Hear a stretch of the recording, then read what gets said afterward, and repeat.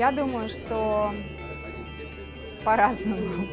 То есть мы сегодня говорили о диверсификации, и этот тренд сохранится. Все равно нет универсальных инструментов, нет инструментов, в которые могут верить абсолютно все, нет э, гарантированных на миллион процентов доходности.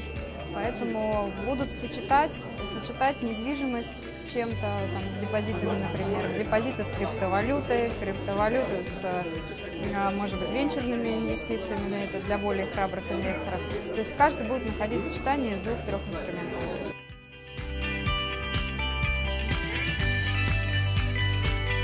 Мне кажется, стабильность как раз не дает зарабатывать.